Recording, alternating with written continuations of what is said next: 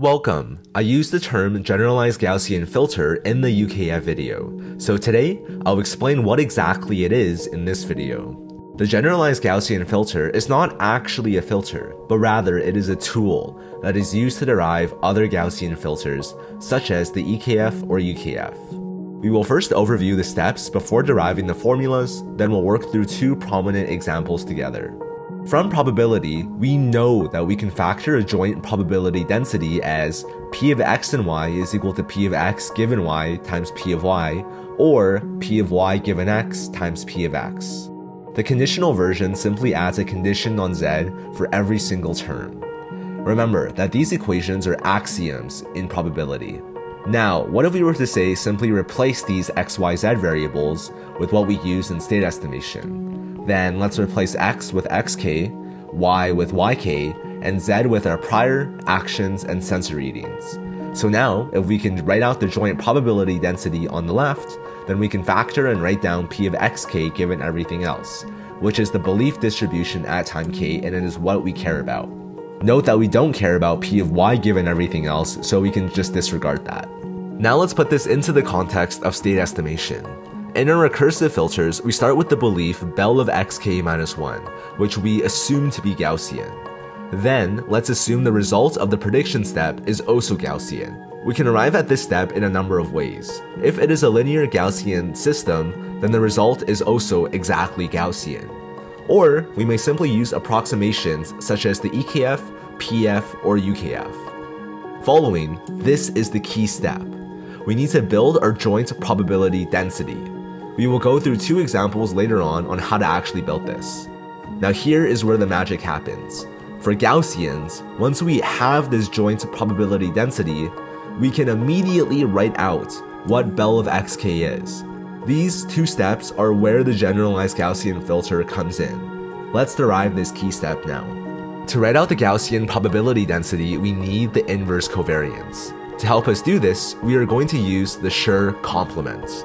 You can go ahead and check for yourself that multiplying what's on the right will give you the block matrix on the left.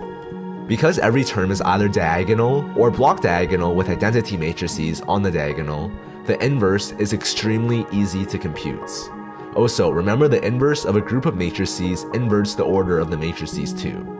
For a sanity check, let's multiply the first matrix by its inverse to see that it does indeed result in the identity matrix. Hence, using this formula, we can directly write out what sigma inverse is. Now let's write out the joint Gaussian where eta is normalization constant. After plugging in the inverse covariance, let's focus on the stuff in the exponential. We can show after some manipulation, which is just too tedious to include here, we arrive at the following line. By definition of joint Gaussians, we know this term on the right is what p of y is. Hence, we know that the stuff on the left must be p of x given y. Looking at this quadratic term, we can take out the mean and covariance of p of x given y accordingly. Let's work through an example now. Let's say we already have a Gaussian prediction step, and our measurement model is linear and nk is Gaussian with zero mean and covariance r. Let's build this joint Gaussian together. First, from bell bar of xk, we can fill in the quantities for p of x given stuff. I will use the word stuff to refer to the prior, previous actions and measurements. P of y given stuff is more complicated. First, we can see that P of y given x alongside stuff is just a Gaussian with mean Cx and covariance r. Let's take a slight detour. We know P of x and y is equal to P of y given x times P of x. If we marginalize according to x on both sides, we can find that p of y is the integral of p of y given x p of x dx. Hence, p of y given stuff is this integral here, which is just the integral of two Gaussians. We can indeed go through all the math, but I will tell you now that the result is indeed a Gaussian. And only because we know it is a Gaussian, we can compute the mean and covariance of the Gaussian by just taking expectations mu y is simply c times mu x. For sigma yy, we start from the definition, plug in the appropriate terms, and then group terms.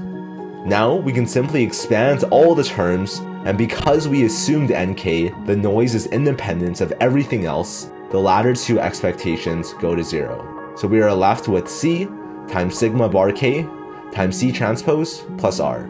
Let's add this to our joint distribution. The last piece of the puzzle is the cross covariance sigma xy.